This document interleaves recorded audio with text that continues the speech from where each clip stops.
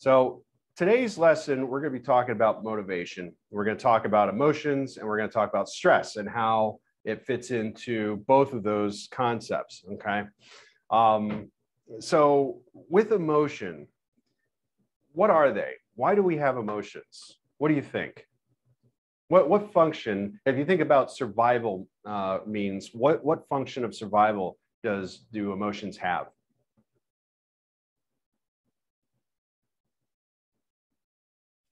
What do you think?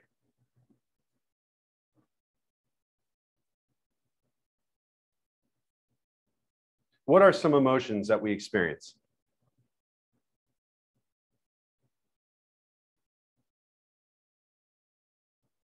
Sadness, um, happiness, um, Okay, excitement.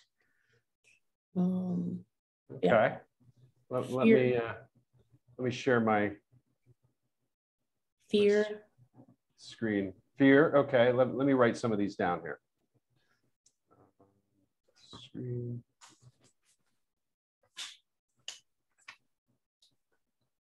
All right, so you said, uh, so um, emotions that we have. Oops. Let me try this again.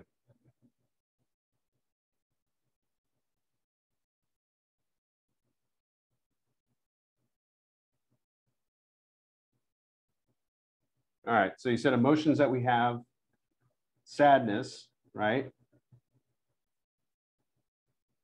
Fear, excitement. What else?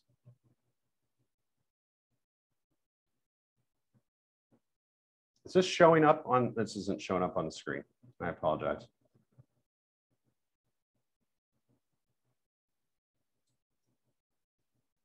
I don't know why this isn't coming up.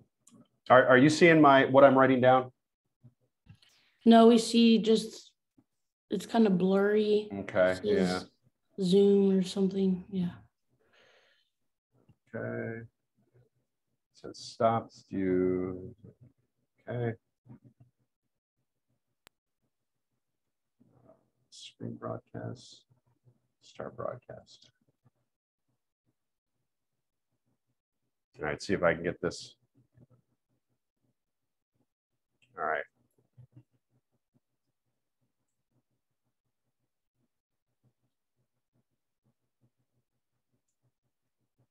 Things are moving not so fast today. All right, yep. Huh, okay.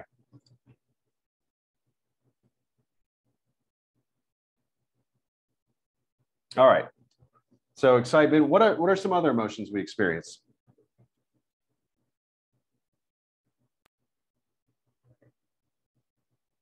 Think think of the movie Inside Out. Like How many anger, disgust, anger, disgust. Good, good. Okay. What else? Think of the movie Inside Out. joy, Joy. That's another one. Yep. So I think we covered all those. We have sadness, we have uh, fear, we have anger, disgust, and joy. Right. Those are are the five that they show in the movie. Um, however, I don't know what's going on with my. I apologize. I'm just gonna get out of out of the. All right. Leave meeting. All right get rid of that. All right. So anyway, um, so we have those emotions. So what what is the function of emotion? Why do we experience anger? What are some reasons why we experience anger, and what does it serve? What function does it serve for us? React to um, maybe a situation or a person. In what way? What what what is? Uh, why would we need to react in anger? Either defending ourselves or defending someone that we care Okay. or um, yeah, something like that. Yeah, yeah. We look at anger as a call to action. So if something is not right, or we feel slighted, or we feel that we're about to be harmed or or taken advantage of, um, or stolen from, we act out in anger. And the reason why we act out in anger is because we need to protect whatever resources we have or whatever uh, we feel we're being threatened against. So anger is a call to action. What about fear? What is the the response fear, why, why do we have it? And what function does that serve for survival? So like if there's a bear, we don't go like running towards the bear. Yeah, yeah.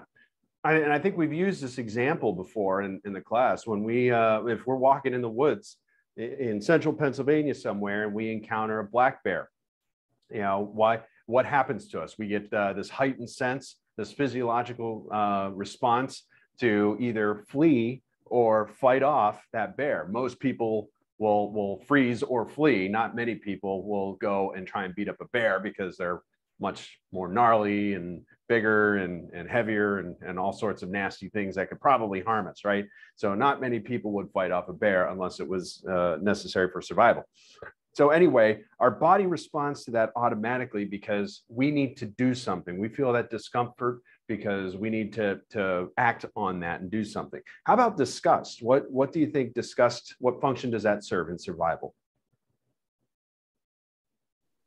uh, poison control in a way. Yeah, absolutely. You're 100% correct on that. Yep. So if, if something is, it, it, smells pungent or um, if, if it's, uh, uh, or pungent, sorry, um, or if, it, if something tastes bad, right, we have an automatic response for that. We cringe, you know, we, we kind of furrow our brow and our nose, you know, we do a lot with our nose because we associate nose and taste, uh, smell and taste with our nose.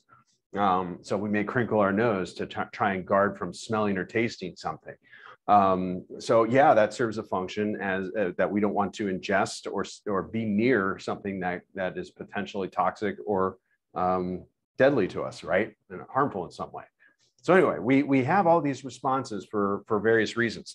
Now, unfortunately, we focus on a lot of the bad emotions, the bad because those are the most readily available. Now, not many people find it um, find it intriguing that somebody is just operating normally, right? They're operating as, as if they're happy, as if they're joyed, right?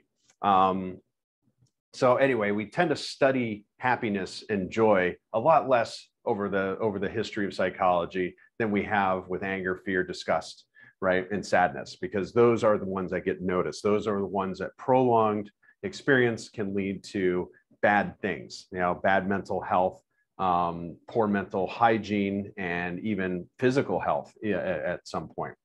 Right. So anyway, that's what we're going to talk about today: emotions and um, and motivation. Okay. So let me uh, let me share my screen with you, so we can share some of these graphics together. And as promised, you know, emotion and motivation. Right.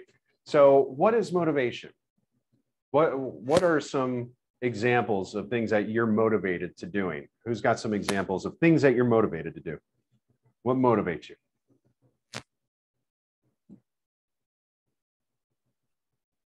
To be the best person I'm capable of, of, of being. Be the best person you can be? Okay. Okay. That, uh, that might be something that motivates uh, people to, to do things. Family, I see Madison put on here, to make decisions on situations you're in. Oh, oh, I'm sorry. I think that was regarding emotions, right? So, um, um, yeah, family might motivate somebody. Having a family or keeping a family, keeping those relationships might be motivation. What are some other things you motivated to doing?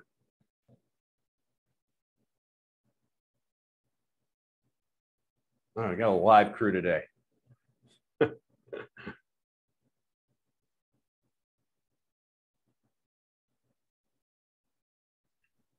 What do you, My, uh, my um, finish finish at HACC and then start um, a four year college.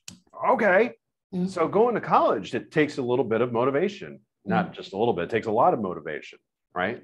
Um, so what there are some different reasons, and we'll talk about those those reasons as to why we go to college and and pursue those things. But um, you know, many of you have different reasons. Some of you do it because uh, maybe you're getting good refund checks and you figure "Why- why not improve your life, right? Some people are motivated doing that. I was motivated to go to college because uh, I saw the value in having a, a career beyond a high school diploma. Um, some, uh, I think probably many of you see that value as well. Some of you want to be better, um, like higher educated in your family, be the first to go to college, set a precedence for your kids, set an example, show leadership, develop skills, you know, whatever your reasons are, you're all motivated to, to go into college or getting a job for, for whatever those reasons are. And then we'll uncover, you know, what some of those motivational reasons, you know, whether they're extrinsic, whether it's monetary or it's extrinsic or intrinsic, like Ann said earlier, um, because we want to be the best person, the best version of the person that we can be. So motivation, your book describes motivation as the process by which activities are started, directed, continued uh, to meet or continue to meet physical or psychological needs. Important keyword there, physical or psychological needs, okay? Because a lot of what we do satisfies us physically. We have three things, you know, well, we have several things that, that uh, uh, we have physiological needs for. We have a need for sleep. We have a need for food and water, and we have a need for procreation or sexual uh, sexual pro, uh, procreation to advance our species. Okay, uh, most people, right? Um, and you got to think, uh, uh, look at those in terms of genetics. Like, if we don't have that component that motivates us to uh, to procreate, to carry on our species, carry on our bloodline, then we don't. And whatever genes we have uh, uh, they don't get passed on. They don't uh, translate to offspring and and the next generation of us. So whatever genes we have, whatever characteristics, whether it's blue eyes, blue hair, uh, dark skin, uh, what, uh, the, the ability to ward off, you know, to have a good physique to ward off danger, those genes go away. Okay, and they don't get passed on to future generations. So anyway, that I just want to highlight that that that physical motivation is there um, to, to satisfy those needs. So as we talked about, defining motivation, we have intrinsic motivation, extrinsic motivation. Intrinsic is acting, uh, is the act itself is motivating or internally rewarding, whereas extrinsic, the outcome is separate from the person. So let's kind of backpedal a little bit back in the day when we were talking about learning, operant conditioning specifically we had a system of rewards or punishment, right? Those are extrinsic motivators. So, what are some things? So, let's use the college example. What are some extrinsic reasons why somebody would go to college? What are some outcomes that are outside that person that are motivating them to go to college? Their family or friends. Okay. So, family or friends kind of pressuring you to do that? Maybe. Those might be extrinsic. What are some other extrinsic motivators? Financially. Finances, money, dinero, dingy, you know, whatever you want to call it. Money is an extrinsic motivator, right? Because we've associated money with what in survival? With the ability to get food, get shelter, have security, right? And we'll talk about um, uh, humanistic point, uh, perspectives point of view um, a little bit later with Maslow's hierarchy of needs.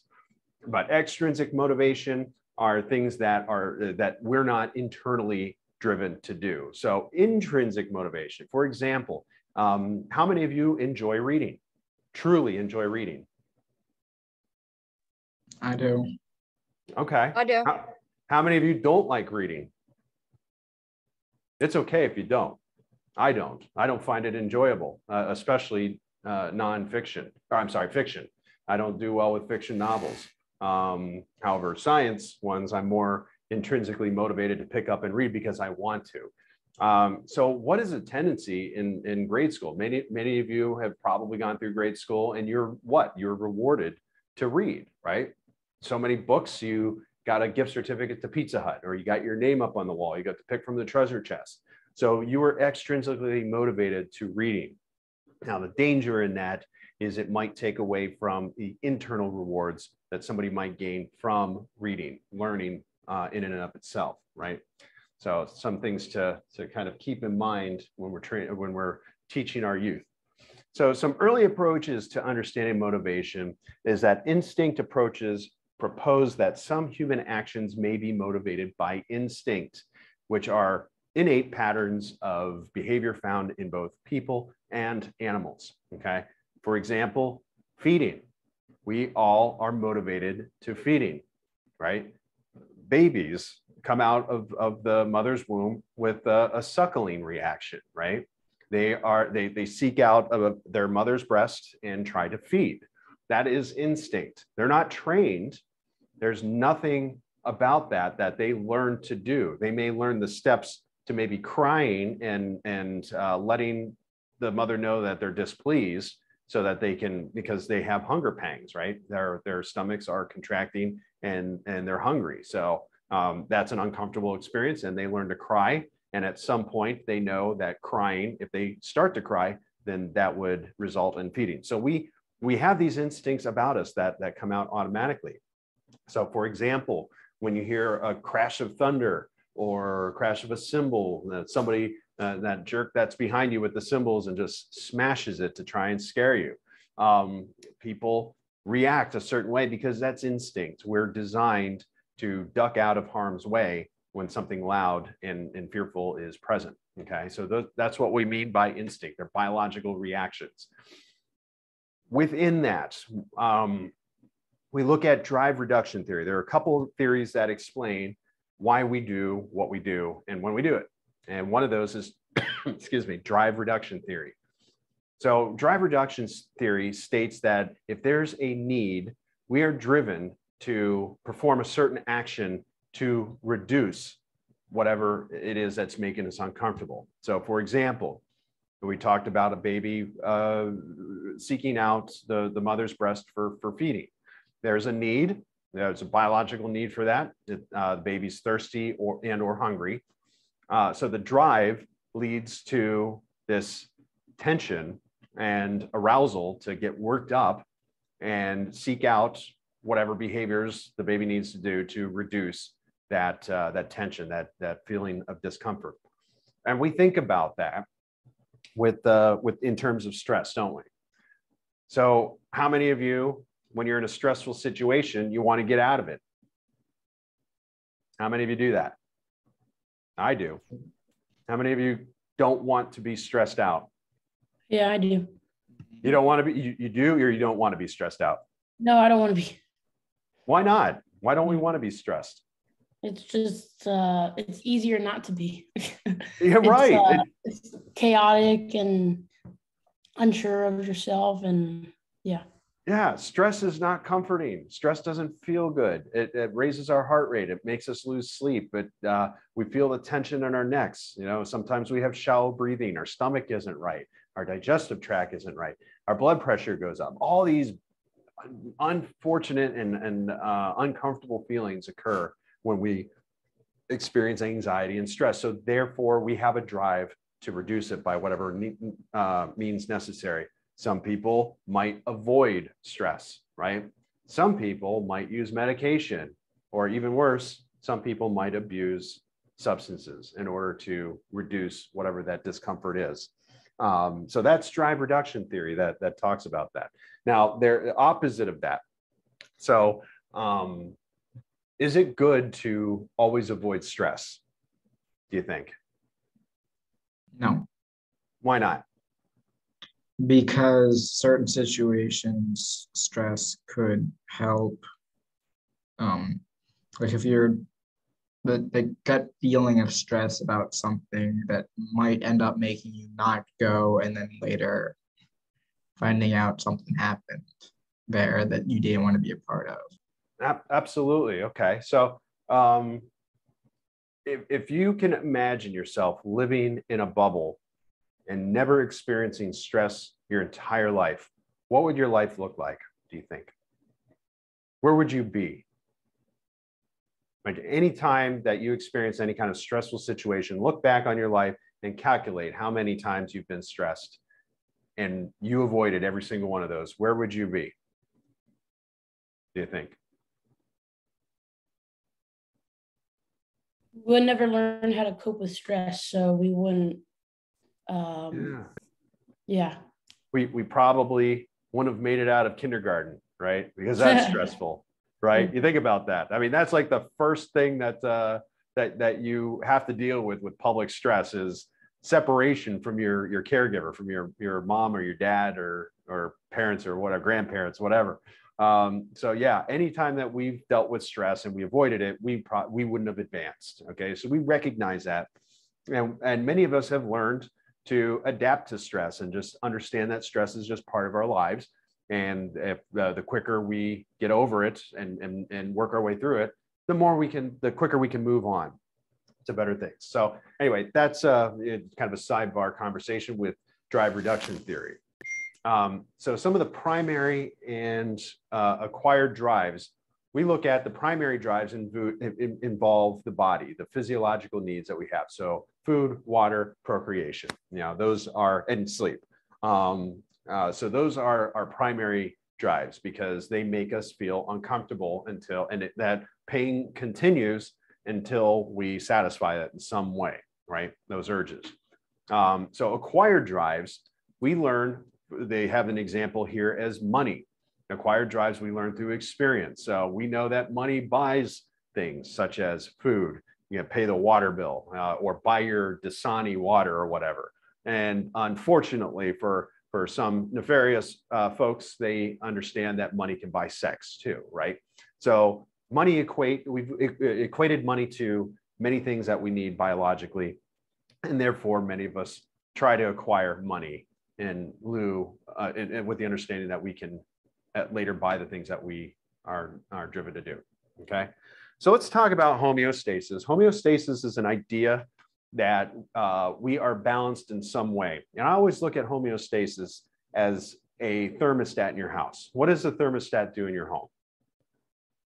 What is, what is the science? Go ahead.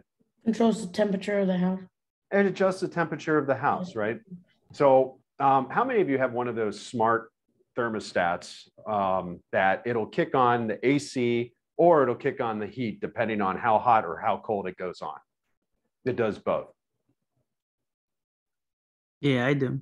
Okay, okay. So that's exactly what our bodies are designed. And you think about that. I, I don't know if we have a, uh, we don't have a, I don't have a graphic. I should put a graphic in here. So within that, if you think about, say, we set our temperatures in our house from 67 degrees to 73 degrees. Okay, that's our range that we want our our house to always be at. Okay, our bodies are like that. When we have uh, we have our our drive for hunger is similar to that. We have um, glucose that drives when we should eat or when we want to eat and when we don't want to eat, right? Or when we're satiated and full.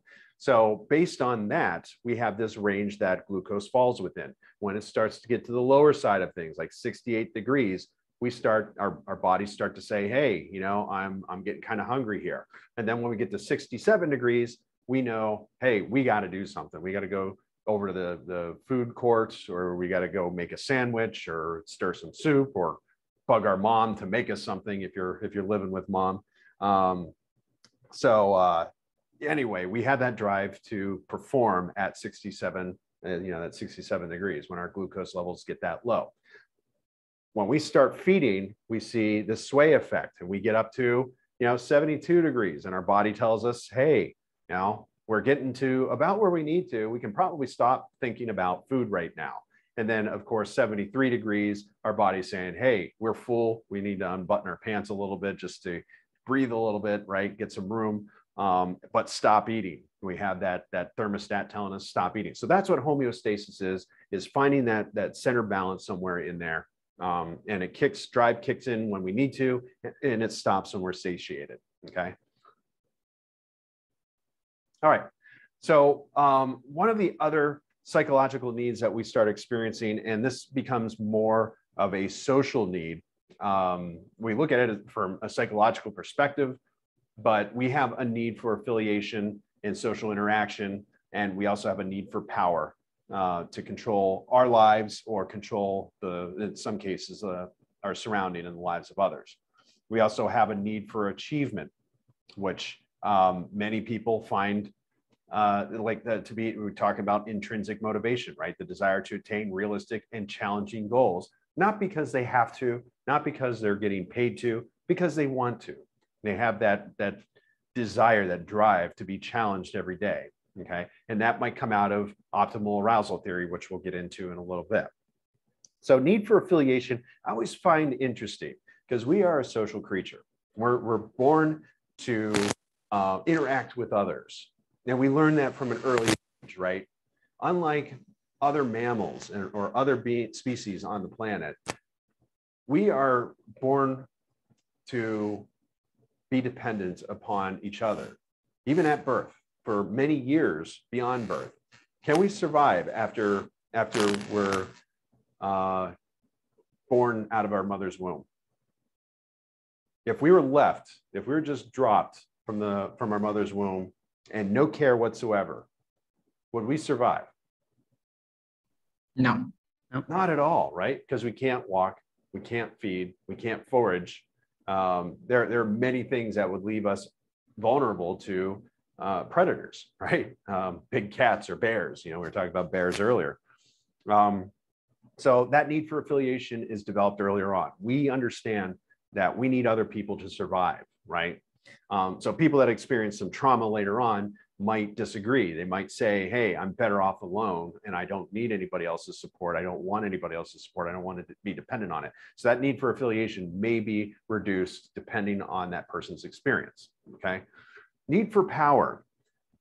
This comes from our innate drive, our instinct to be in control of our lives, our pride, right? We all have a certain pride about us because we if we're not proud about something then our world doesn't make sense around us and that can be a very scary thing for some people, right?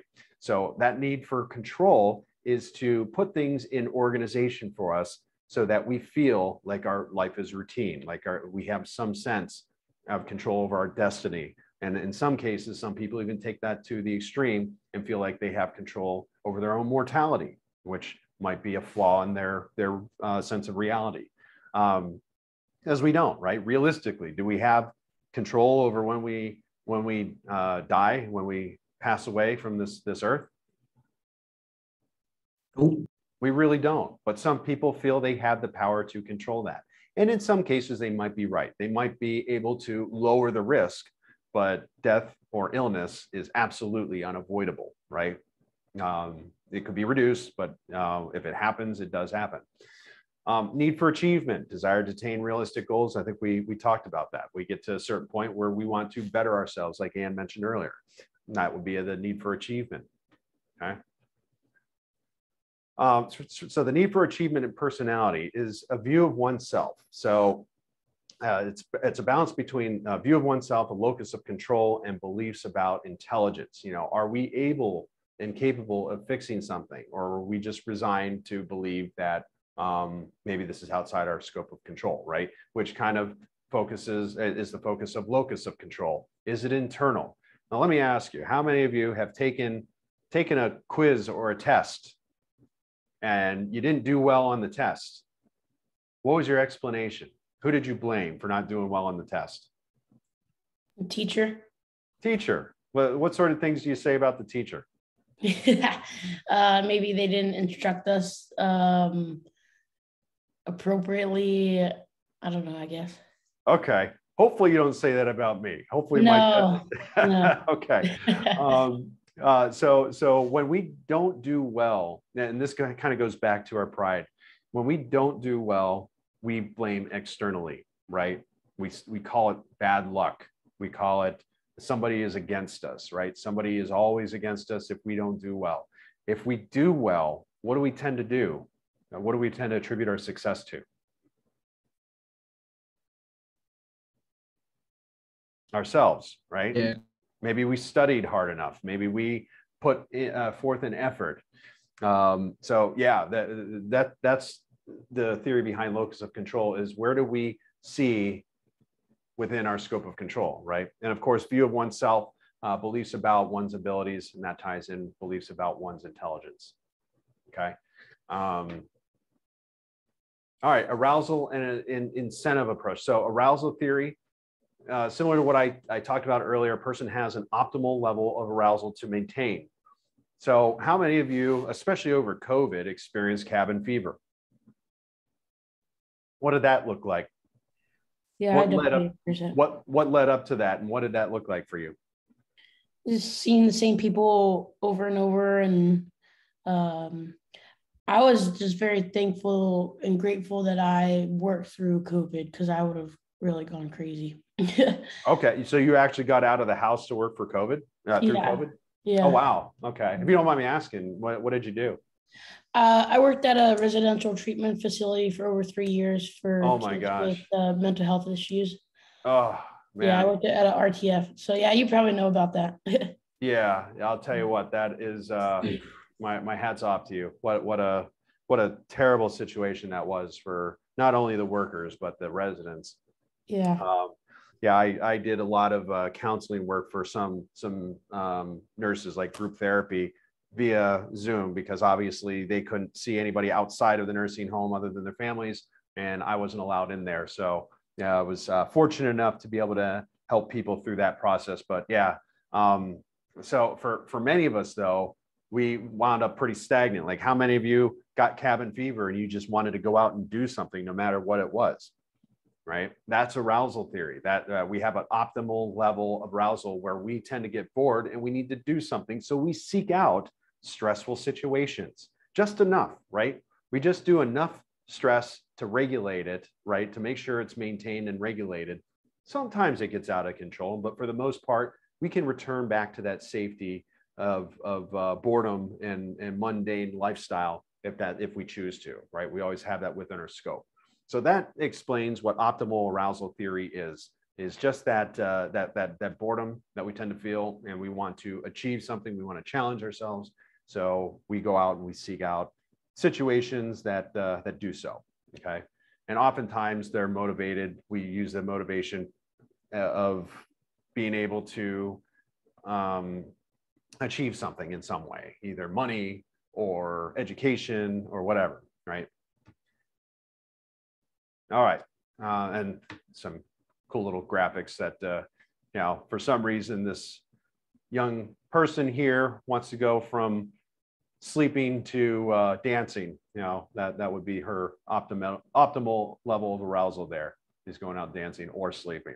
I know some people that kind of fit that mold too. They don't do much. They they sleep all day and then they go out and dancing all night, right? All right, maybe you know somebody like that as well.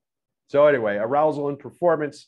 Uh, we know that uh, very easy tasks, we have a higher arousal level because we know that we can do that. We have the belief that we're able to, we're competent, we're controlling of that situation. However, more difficult tasks that we're expected to perform higher on, uh, we may be a little bit more cautious. If you remember, back to that safety mechanism where we want to go back to an area that we can control, right?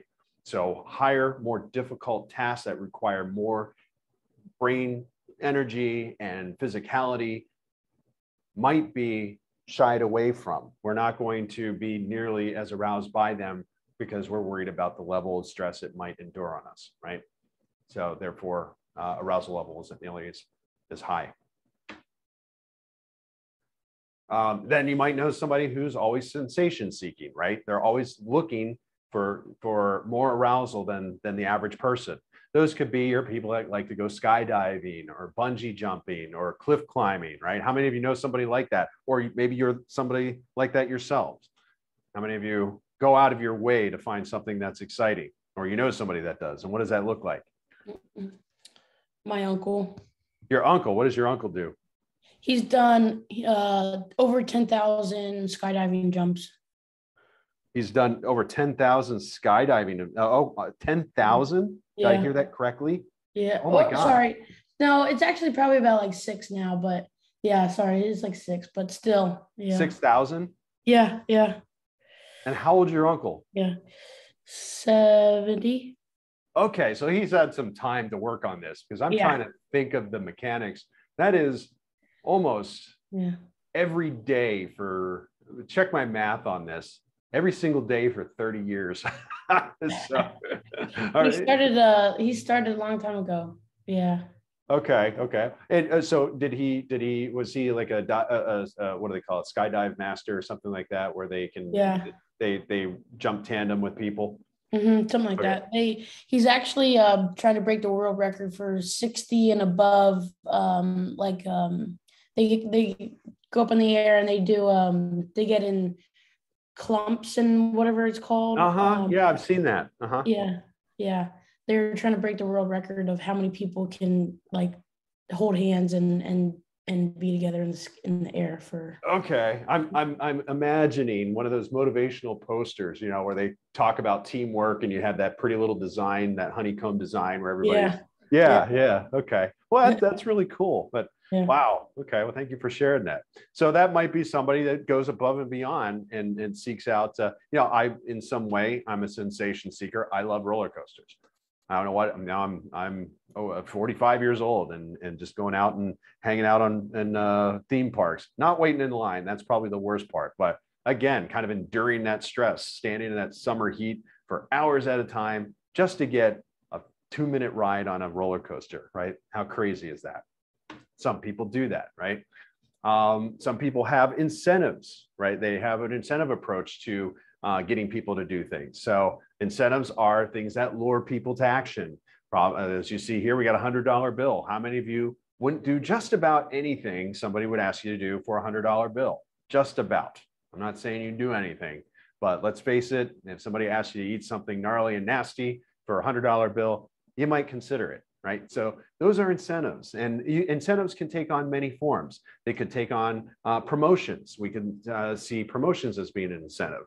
Um, need for affiliation, right? Some people would dangle that out there. You want to be part of this group, this in group that we have the secret handshake and all these benefits to being in this group.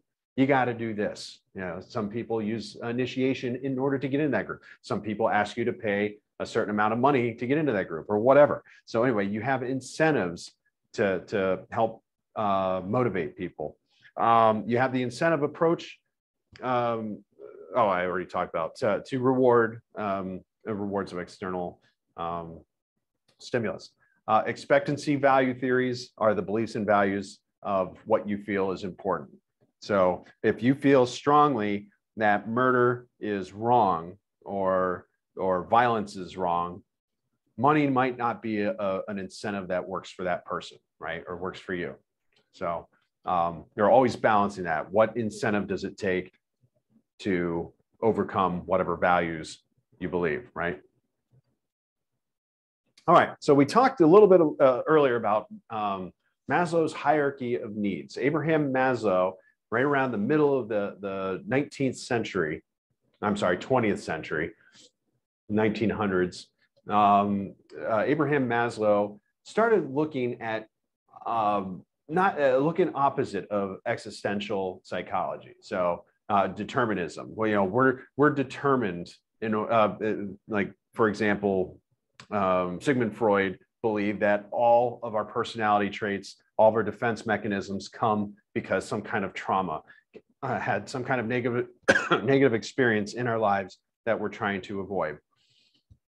Abraham Maslow was more took a more humanistic approach and looked at it from a perspective that humans want to be the best versions of themselves, like Anne mentioned earlier, right? So we do this by imagining ourselves in the best possible situation. And some people try to do that through achieving what they call self-actualization, which is uh, really lowered physiological needs. All of our physio- physiological needs have been met and our full human potential has been achieved. We're able to give back, we're able to leave a legacy, and we are highly influential, we're highly regarded, we feel loved, we feel um, uh, regarded, yeah, as, as, uh, as, the highest form of enlightenment. Okay, that's self-actualization. Some people, um, times when self-actualization is temporarily achieved is called peak experiences sometimes they're at the height. And maybe many of you can identify with that. Maybe you were at the height of your career and then something changed where you no longer did that. Maybe you wanted to do something else or you were fired from that job for or laid off because of uh, your, your position wasn't needed anymore, right? So some people might experience peak experiences and then they come back down to having to meet their needs for affiliation, needs for love and affection, or um, uh, need for for even some people might have to like if they lose their their position you know a lot of people saw that over covid where a lot of these companies went scaling back they loved their job they loved what they did they were making the great a great amount of money and then all of a sudden they're fighting just to keep their house uh, uh, trying to scrounge money just to feed their families right So even though they had those moments of self-actualization, they kind of went down. And I'll, I'll explain how this looks here in just a second here. Through the hierarchy, looks like a triangle, looks like a pyramid, right? And this is what Maslow proposed is that we try to meet our greatest need, which is our physiological needs first, satisfy our hunger, thirst, and fatigue, right? Um, once those are met, we then try to, uh, then we strive to meet our safety needs, feel secure, safe, out of danger, right? Have our homes, have our security alarms if, if that's what makes you feel safe. Um, you know, kind of one of the things I, I developed over the years, I love to camp. I really enjoy camping. And um, lately, you know, I used to go tent camping all the time, didn't think about it, slept like a log.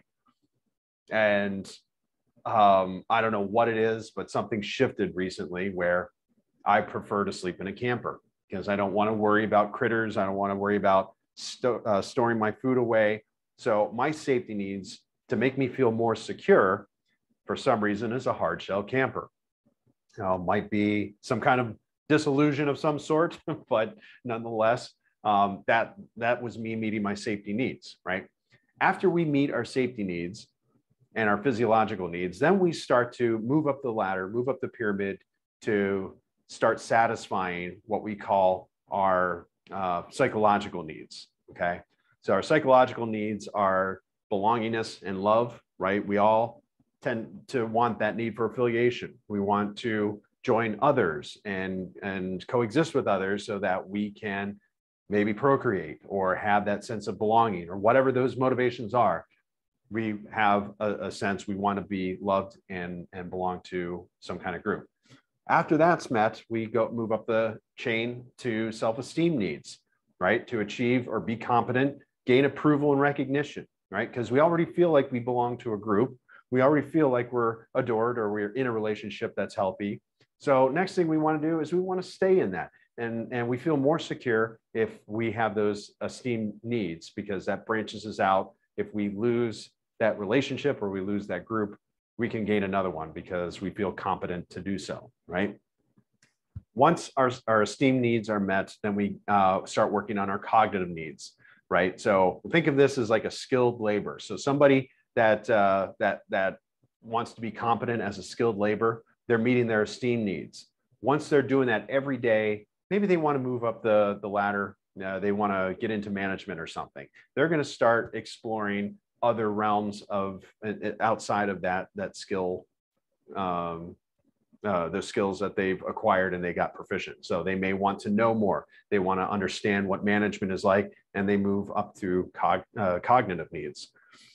Um, after cognitive needs, we have aesthetic needs, which is the uh, need to appreciate beauty, order, and symmetry. And then last but not least, we have self-actualization, which is the self-fulfillment and realize your own potential. Okay. Now, one thing to note um, on, on self-actualization, one of the flaws in Maslow's hierarchy of needs is it's very hard to quantify many of these levels, but more importantly, it's hard to quantify or be able to describe what self-actualization actually looks like. Many people might just feel, hey, I've made it, right? But yet they go on to achieve greater things or more uh, higher levels of things, right? So maybe somebody's dream was to be the owner of a business one day. And they get into that business and they say, yay, I made it. You know, I'm self-actualized. I think this is great. This is where I wanted to be all my life is to own this business. And then they realize, well, hey, maybe I want to branch out. Maybe I want to be the, the, the president of a of a franchise or something. So they keep building, right? So self-actualization is one of those tricky things where is it something that we feel uh, that we know that we've arrived, or is it by evaluation of other people that they've achieved that? And that could be hard because we don't know necessarily what's going on in somebody's head or somebody's mind, right? Um, so self-determination theory is another way to look at this. It's defined, uh, it defines uh, stress and stressors and describe two methods for coping with stress. So uh, SDT or self-determination theory is the social context of action has effect has an effect on the type of motivation. So with autonomy, Um, you have autonomy. Oh, sorry.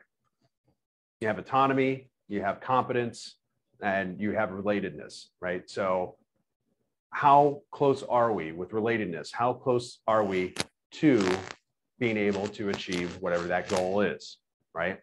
What is our competence? Are we able to, to achieve that goal? And autonomy, can we do it by ourselves? That's all explained in self-determination theory, okay? Um, all right, so I'm going to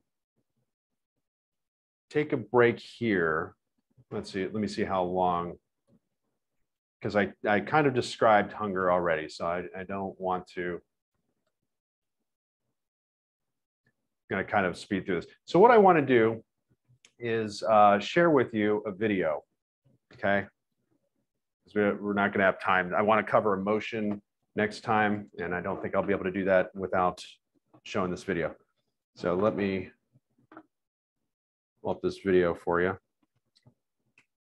All right, any questions on, on motivation?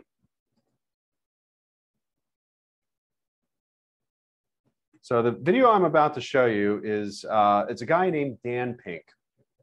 And Dan Pink is, uh, he, he's actually a lawyer, but he speaks a lot on, on business solutions and motivation and the psychology of how business occurs. And what he talks about in, in this video I'm about to show you is motivation, because we tend to have things a little bit wrong um, in, in our business models and many business models that uh, people are using.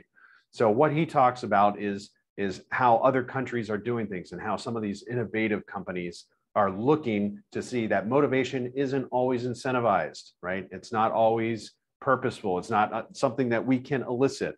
Like, for example, how many of you really, if you had the opportunity to, to make money and not go to work, how many of you would do that? I would, Is there anybody that wouldn't? Is there anybody that, that if you were given all the money that you needed to survive, would you still go to work? How many of you would still go to work? I think I would make my own schedule, but I Okay. I need something to do during the day. I can't just be like I'm gonna travel and eat and do whatever I want the rest of my life. You know. Okay, okay. I need some purpose. So, so you would find a balance somewhere in there that you would have, you know, you, you have the money, but you want to also have that purpose, right?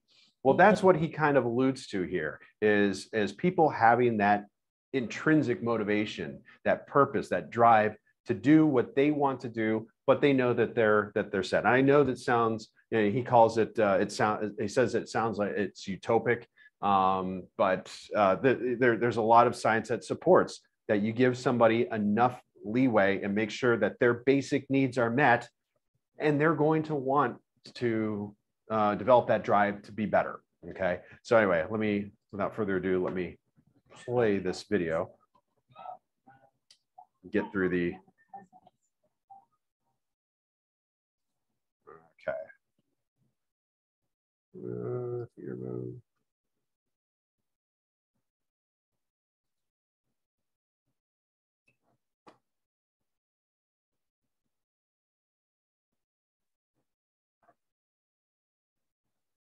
All right.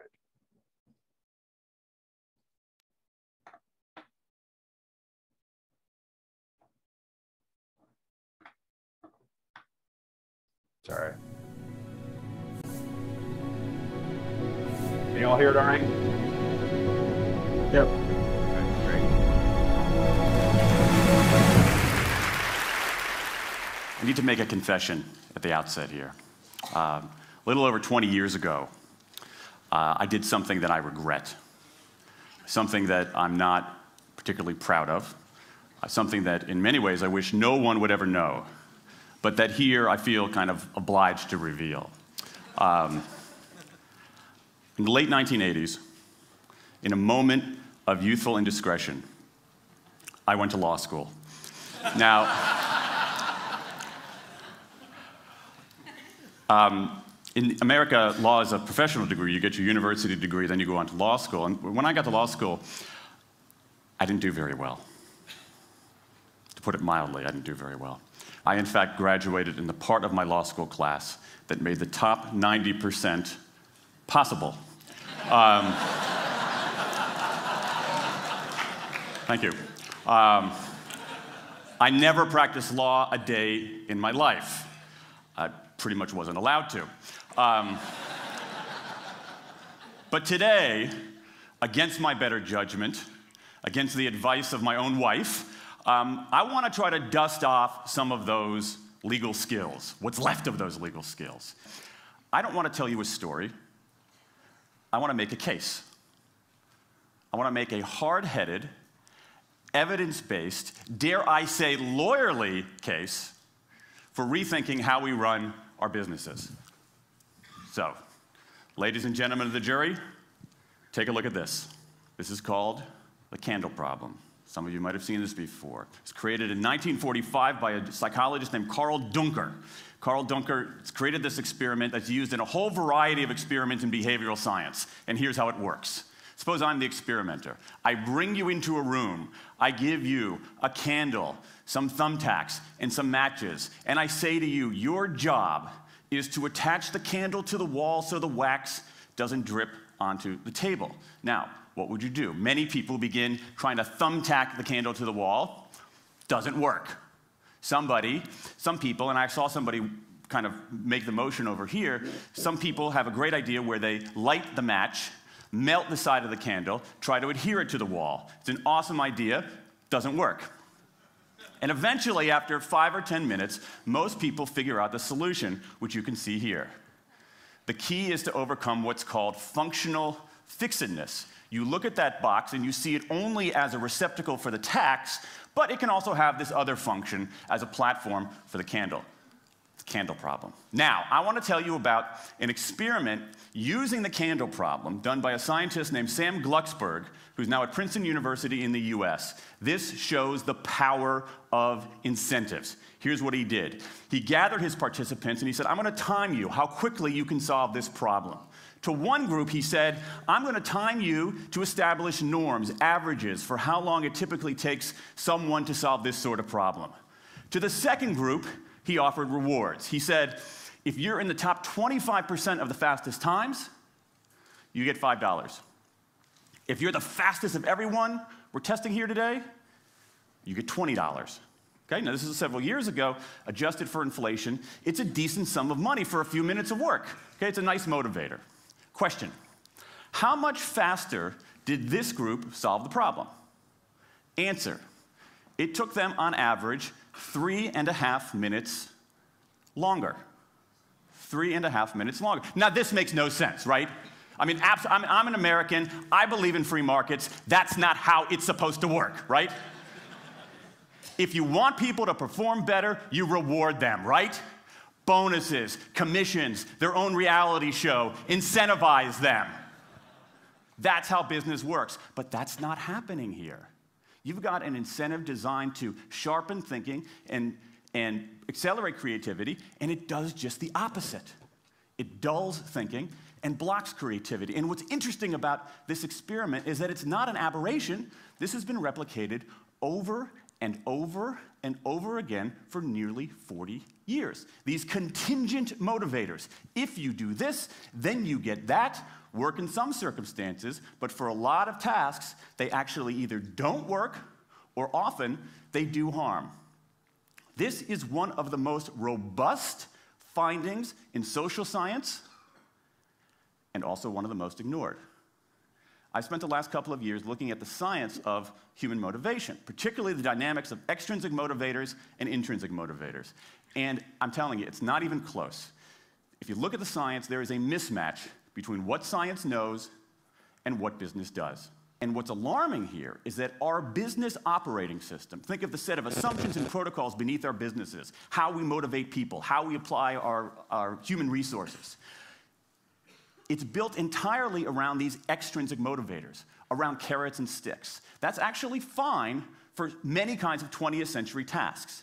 But for 21st century tasks, that mechanistic reward and punishment approach doesn't work, often doesn't work, and often does harm. Let me show you what I mean. So Glucksberg did another experiment similar to this, where he presented the problem in a slightly different way, like this up here.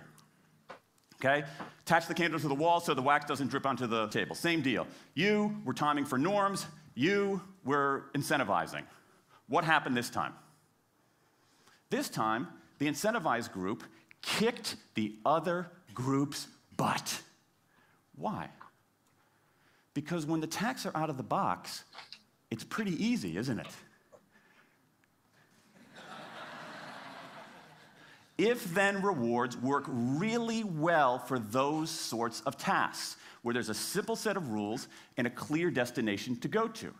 Rewards, by their very nature, narrow our focus, concentrate the mind. That's why they work in so many cases. And so, for tasks like this, a narrowed focus where you just see the goal right there, zoom straight ahead to it, they work really well.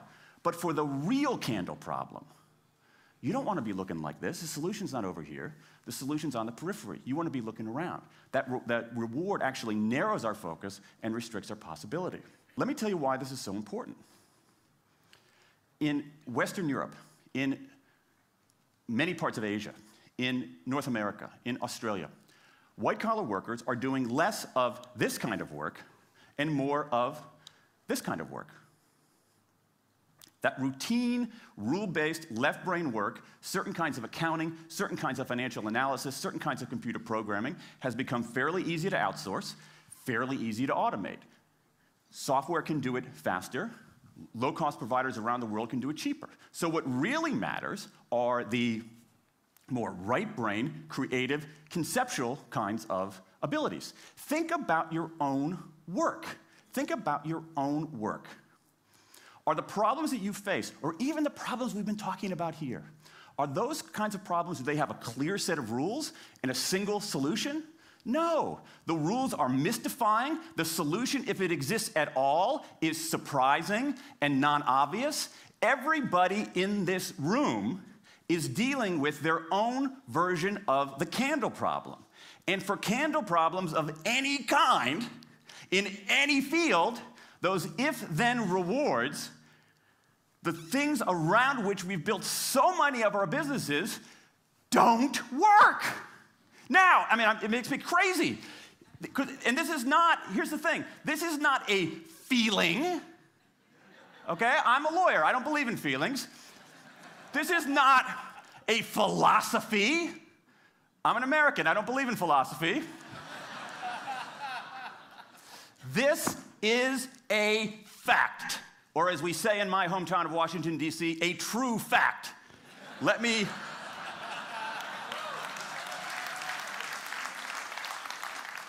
Let me give you an example of what I mean. Let me marshal the evidence here because I'm not telling you a story, I'm making a case, ladies and gentlemen of the jury. Some evidence. Dan Ariely, one of the great economists of our time, he and three colleagues did a study of some MIT students. They gave these MIT students a bunch of games, games that involved creativity and motor skills and concentration. And they offered them for, for performance three levels of rewards small reward, medium reward, large reward. Okay? Do really well, you get the large reward on down. What happened? As long as the task involved only mechanical skill, bonuses worked as they would be expected. The higher the pay, the better the performance. Okay? But once the task called for even rudimentary cognitive skill, a larger reward led to poorer performance. Then they said, okay, let's see if there's any cultural bias here. Let's go to Madurai, India and test this. Reward standard of living is lower. In, in Madurai, a reward that's modest by North American standards is more meaningful there. Same deal. A bunch of games, three levels of rewards. What happens? People offered the medium level of rewards, did no better than people offered the small rewards. But this time, people offered the highest rewards. They did worst of all.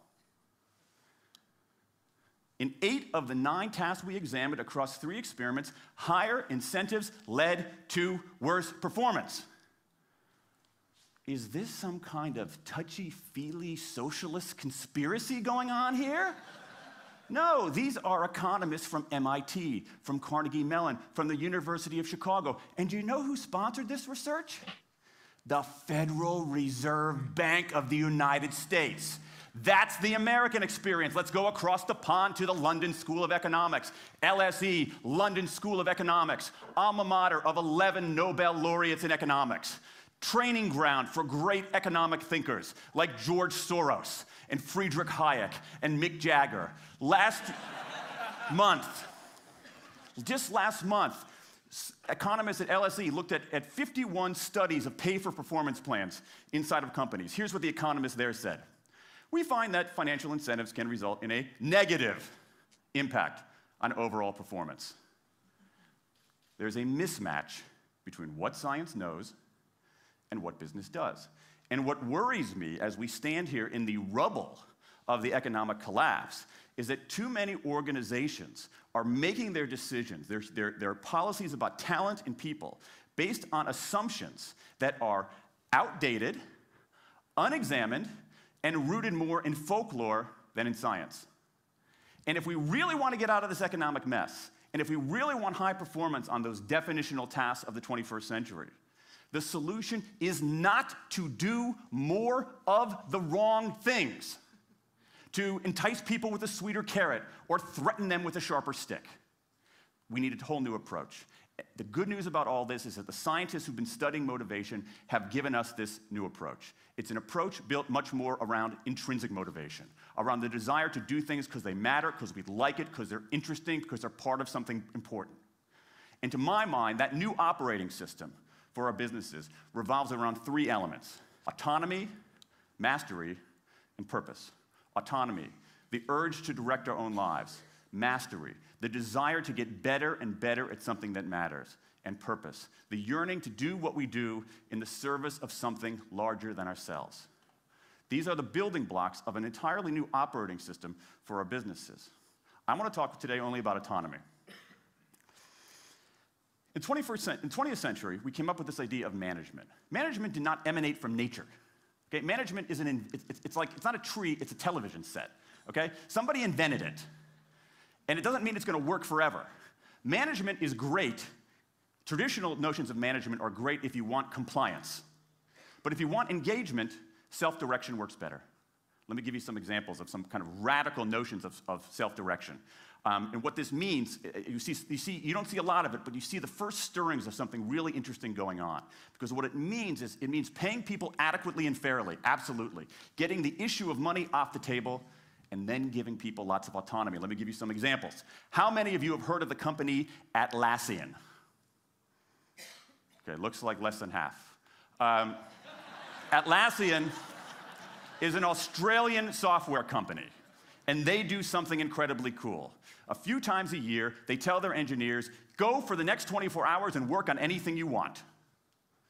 As long as it's not part of your regular job, work on anything you want. So the engineers use this time to come up with a cool uh, patch of code, to come up with an elegant hack. Then they present all of these stuff that they've developed to their uh, teammates, to the rest of the company, in this wild and woolly all hands meeting at the end of the day.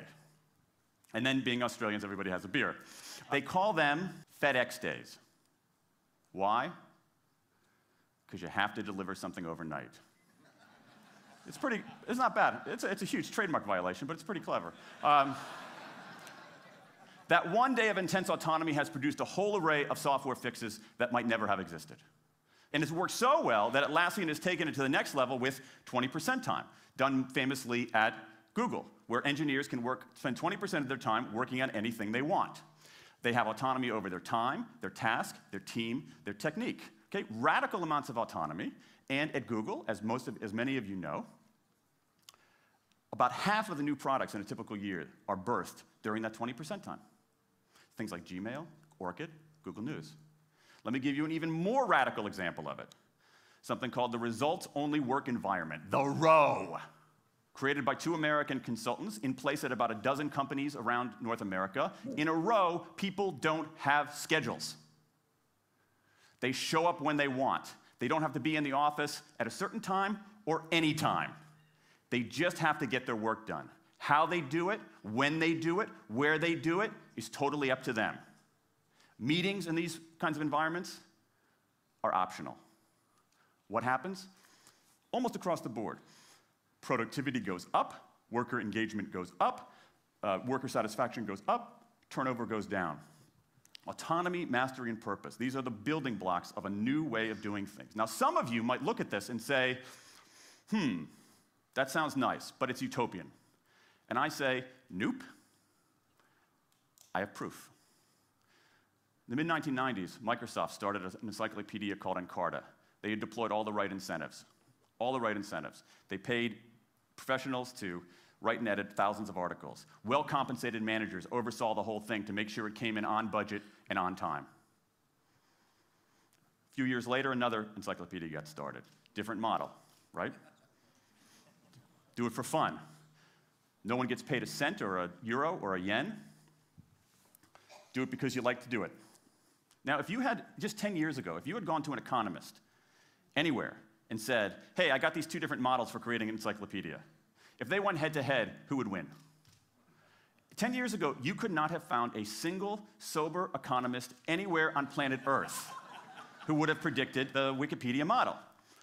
This is the titanic battle between these two approaches. This is the Ali Frazier of motivation, right? This is the thriller in Manila, all right? Intrinsic motivators versus extrinsic motivators. Uh, autonomy, mastery, and purpose versus carrots and sticks. And who wins? Intrinsic motivation, autonomy, mastery, and purpose in a knockout. Let me wrap up. There's a mismatch between what science knows and what business does. And here's what science knows. One, those 20th century rewards, those motivators we think are the natural part of business, do work, but only in a surprisingly narrow band of circumstances. Two, those if then rewards often destroy creativity. Three, the secret to high performance isn't rewards and punishments, but that unseen intrinsic drive, the drive to do things for their own sake, the drive to do things because they matter. And here's the best part. Here's the best part. We already know this. The science confirms what we know in our hearts. So, if we repair this mismatch between what science knows and what business does, if we bring our motivation, notions of motivation, into the 21st century, if we get past this lazy, dangerous ideology of carrots and sticks, we can strengthen our businesses, we can solve a lot of those candle problems, and maybe, maybe, maybe we can change the world. I rest my case. All right, what'd y'all think?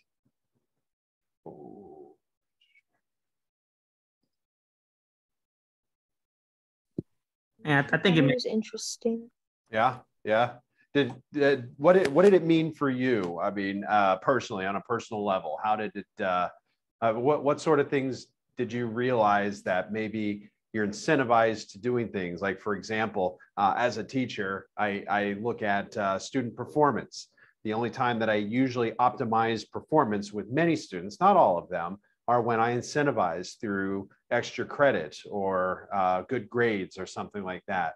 Um, but so what what are some things that maybe if you had to pick one thing in your life that you could just do because you didn't need the incentive to do it anymore what would that be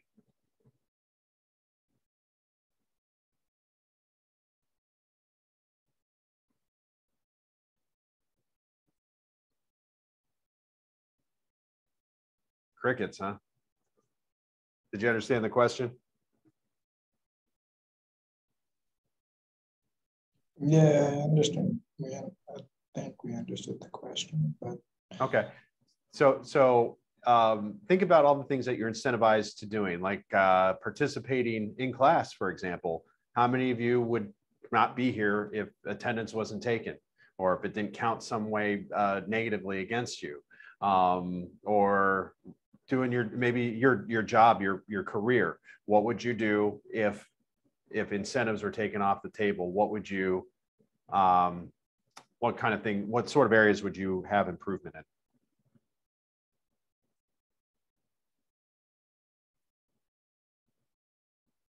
Okay, all right. Well, I'll tell you what, I, I just wanted to kind of leave you with a parting thought of, you know, just looking about how, how um, we internalize things, how we turn things into intrinsic as, as opposed to extrinsic motivation. But think about how that looks in your life um, and things that you can improve upon, uh, either for yourself or for your families or your society or, or uh, just your uh, the people around you in general. Okay. All right. Any questions before we depart today?